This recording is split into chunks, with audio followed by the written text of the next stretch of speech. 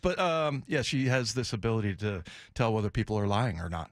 You know, I feel like there's a lot of NFL players that have that ability because, you know, like I said with Dan Campbell, for example, you know, the the, the players will will sniff out a phony. Yeah. Like what you see is what you get with him, and the players have bought in.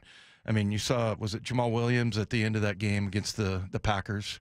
Am I even when he was, uh, you're talking about when he was in tears. well, yeah, he was yeah. in tears, and he, then he was, you know, laughing and making jokes, and you know everything. I mean, that's kind of who he is. And yeah, if you got a guy like that that loves the game so much that when he talks about it, he starts crying, you know, that's those are the kind of guys that I feel like could absolutely. It's Natasha Lyonne. No, okay. Yeah, but Yeah. um, but thank you, uh, two hundred six. uh, but yeah, I mean, that, that I would, but I would just kill. I would kill to be there. It would be so interesting, and uh, you know, and I don't think that there's ever been. I mean, since the whole Malik McDowell thing, now all of a sudden it, it be, has become. Like we, you actually know what that's about, man. Like this guy had a ton of potential, and he was really explosive. And you know, and I guess you know, I would say don't take my word for it, but that's what John thought, and John's done a pretty good job. And that guy never got on the field for the Seahawks, and that's where, what you're in danger of here, man. You're just having this opportunity, number yeah, five. you. That that's different. That was uh, that was what was like- top of the second round. Yeah, like the first pick in the second round. First pick, or- which still obviously carries value, but Sure. this is top five. This is somebody you expect to be a Pro Bowl level talent. You're talking about, especially if it's a quarterback, you expect that's going to be your franchise guy. So there's Right. there's different value and importance placed on this pick. Um, Lance Zierlein, who uh, who was on with Brock and Salk, talked about the the conversation with Jalen Carter, and they said he's talking about. Um, you know the answer in order to determine. You ask a question that you know the answer to, just to just to see what his level of accountability will be. Well, I would probably start with something I already knew behind the scenes, and I'd want to I'd want to get his answer. I'd want to see his level of accountability. I'd ask him about, you know, his work ethic in terms of missing, you know, being late to practices or meetings or things like that, and I'd want to see what he says. I'd want to see if he's coachable.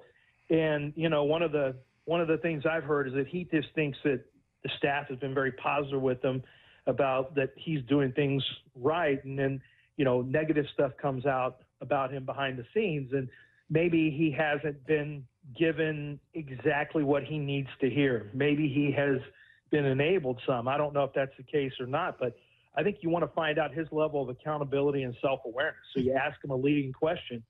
That'd be interesting. I mean, uh, and I would assume that's not a unique approach. Uh, you know, just if you know something, you know the the absolute fact about a specific question you're going to ask. All right, Yeah. let's let's. And he may not. Maybe it's something he he would think you wouldn't know.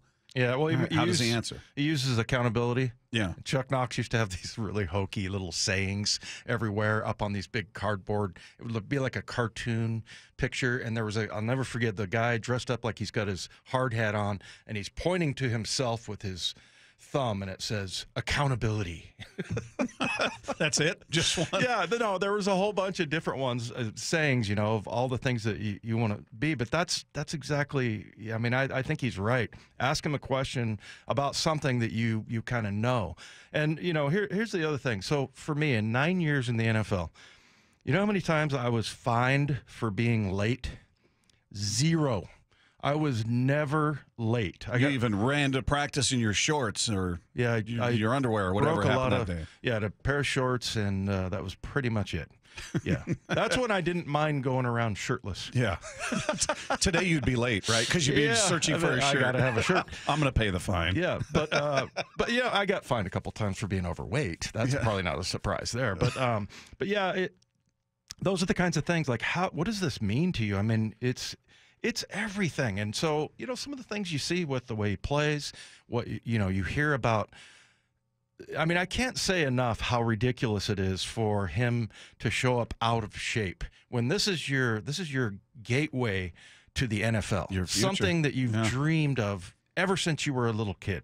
I think my I have a Dr. Seuss my book about me from when I was a kid, Mm-hmm. and it it says in there, "What do you want to be when you grow up?" I, I wrote pro football player, scribbled it out, and you know that that's where he is right now. And so for him to not take this seriously, that's why once again, I, I would kill to be there, just to Yeah. not not necessarily ask questions, but I just I just want to hear what his answers are. I, I agree. See how he one quick responds. one quick note. Uh, Brady Henderson tweeting out when a team brings in a prospect on a 30 visit like this, it can interview him, talk football, show him around the facility, conduct a physical, but the team is not allowed to work him out.